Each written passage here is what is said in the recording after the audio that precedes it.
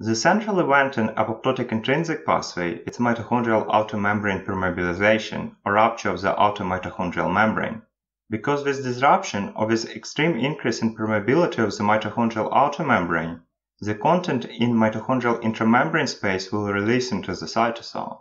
Primarily it's cytochrome C, apoptosis-inducing factors, and inhibitors of apoptosis proteins antagonists. The major player here is cytochrome C. Once cytochrome C is released into the cytosol, it initiates a caspase cascade. Cytochrome C binds to apoptotic protease activating factor 1.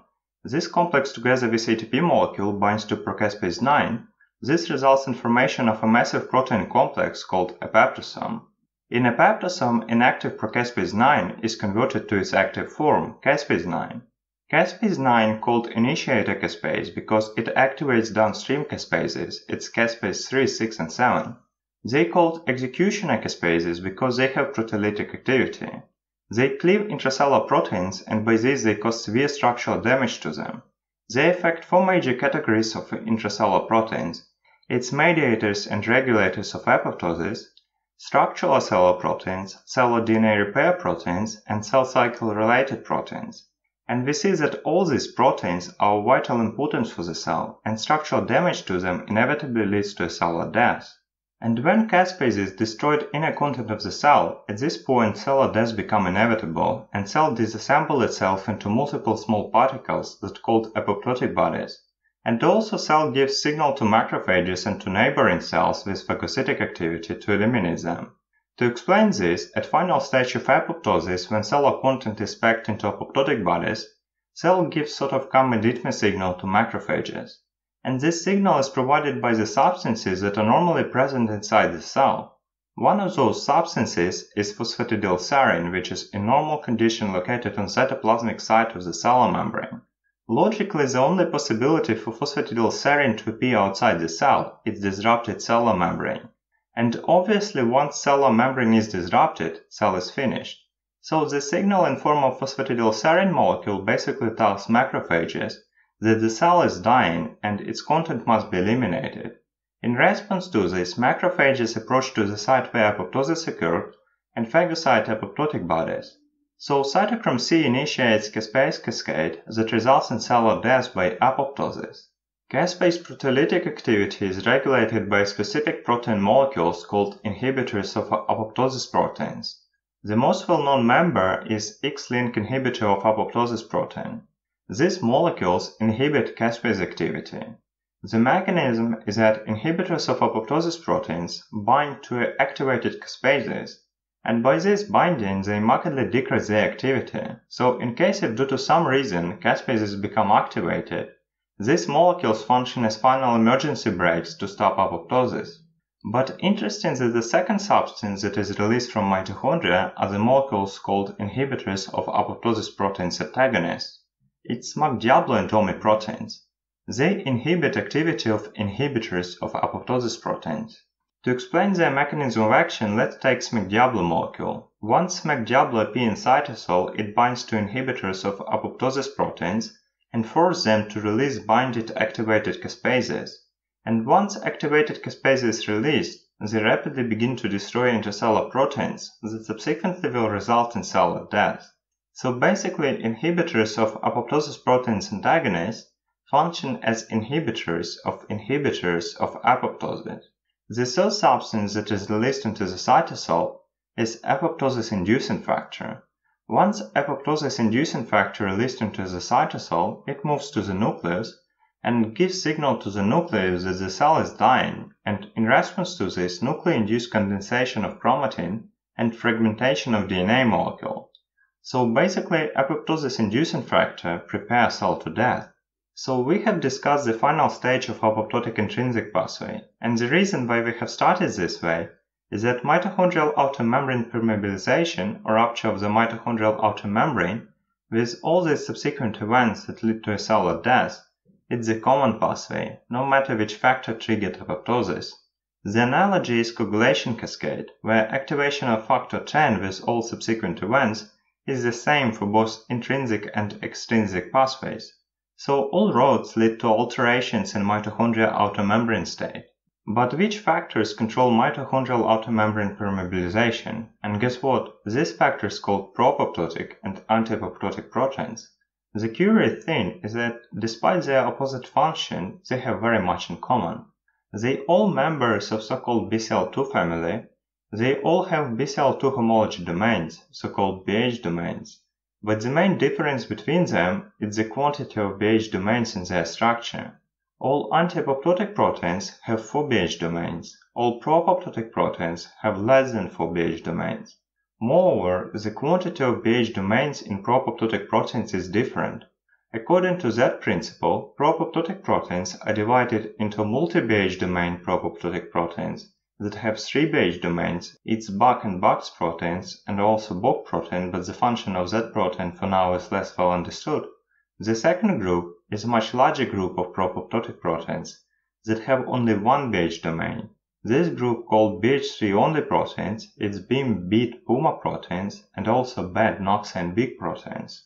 The major difference between multi-domain and BH3 only proteins is that multi-domain proteins as Bak and Bax are the central effectors of apoptosis. Once they are activated, they undergo conformational changes, oligomerize, and form pore in outer mitochondrial membrane, so they directly cause mitochondrial outer membrane permeabilization. Basically, we can say that once they are activated, they kill mitochondria directly, and thereby they directly induce apoptosis. In contrast to them, BH3-only proteins cannot kill mitochondria directly. The way to remember this is that they have only one BH3 domain, so they are small and they do not have this power to kill mitochondria directly. But they can help these big guys, as Bax and Bak multi-domain apoptotic proteins, to do it. BH3 only proteins can either bind to multi-domain proteins, and by this binding they activate them so they can directly stimulate them to kill, or they can help them indirectly by inactivation of anti-apoptotic proteins. And obviously once they neutralize inhibitors of Bax and Bak proteins, the activity of multi-domain apoptotic proteins tremendously increase, so it's their indirect stimulation. And according to that principle, BH3-only proteins are divided on activators that directly activate Bak and Bax proteins, its BIM, BID and PUMA proteins, and sensitizers that help Bax and Bak proteins indirectly, its BAD, NOXA and BIK proteins. These pro-apoptotic proteins are very delicately balanced by anti-apoptotic proteins that help mitochondria and thereby cell to survive. The major anti-apoptotic proteins that we have to know are BCL2 and BCL extra large proteins and also MCL1 protein. The mechanism of all these anti-apoptotic proteins is that they simply bind to pro-apoptotic proteins and sequester them by this binding they neutralize the activity and thereby they prevent apoptosis. The specific feature is that each anti-apoptotic protein has different binding affinity to pro-apoptotic proteins and different interactions with them. For example, MCL1 protein, which is nowadays considered the major player among any other anti-apoptotic proteins, has strong affinity for Bak, BIM, NOXA and PUMA proteins, but weak affinity for bad pro-apoptotic protein. But this high affinity of MCL1 for NOXA protein is actually a weak spot, because NOXA protein, as we see, belongs to sensitizer group of BH3 only proteins that inactivate anti-apoptotic proteins. To illustrate this, it's pro-apoptotic protein that in free state can initiate mitochondrial outer membrane permeabilization. To prevent this, MCL1 binds to pro-apoptotic protein and by this binding it neutralizes activity of pro-apoptotic protein. And when NOXA protein become activated, it binds to MCL1, and this binding forces MCL1 to release pro-apoptotic protein. And once pro-apoptotic protein released, it initiates mitochondrial outer membrane permeabilization and thereby apoptosis. So it's an example of how anti and pro-apoptotic proteins function. But what factors can affect the state of mitochondrial outer membrane? One of those factors called mitochondrial permeability transition. Mitochondrial permeability transition is a condition when mitochondrial inner membrane that is in normal state is totally impermeable becomes permeable, and this eventually results in rupture of mitochondrial outer membrane. You can find separate video about MPT, so here will be just a general concept. There are two major intracellular states that induce mitochondrial permeability transition. It's calcium overload and oxidative stress. They both cause increase in permeability of the inner mitochondrial membrane. This results in two major pathological states. First of all, it causes dissipation of hydrogen-proton gradient across inner mitochondrial membrane. This results in uncoupling of oxidative phosphorylation, and in this state mitochondria cannot efficiently produce energy, so this leads to bioenergetic failure of the cell. Also because mitochondrial matrix has higher proteins concentrations than cellular cytosol, fluid is going by oncotic gradient from cytosol to mitochondrial matrix. Initially it results in mitochondrial swelling, and at some critical point of fluid accumulation inside mitochondrial matrix, the mechanical stress on mitochondrial membranes becomes so high that it causes rupture initially of mitochondrial outer membrane and then of mitochondrial inner membrane. And as we already know, disruption of mitochondrial outer membrane leads to release of cytochrome C into the cytosol, where it activates caspase cascade and thereby induces apoptosis. So calcium overload and oxidative stress can induce mitochondrial permeability transition that subsequently results in rupture of mitochondrial outer membrane. And with disruption of mitochondrial outer membrane, cytochrome C released into the cytosol, where it triggers apoptosis, its intrinsic apoptotic pathway itself. But another possibility how apoptosis can be activated by intrinsic signal is DNA damage. And in this case, the major player is protein called P53. To explain this, it's cellular cytosol and its mitochondria, and on outer mitochondrial membrane there are pro and anti-apoptotic proteins that are very delicately balanced, and its cellular nucleus with DNA molecule inside. We have to know that p53 molecules are located in cytosol, but p53 has the ability to enter into the nucleus between G1 and S phase, and in the nucleus it monitors the state of DNA molecule. So this protein is very sensitive to any DNA damage. And when DNA damage occurs, p53 becomes activated.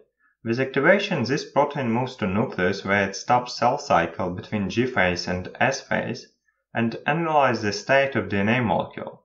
If damage is reversible, it holds the cell at that checkpoint until DNA repair proteins will fix the damage.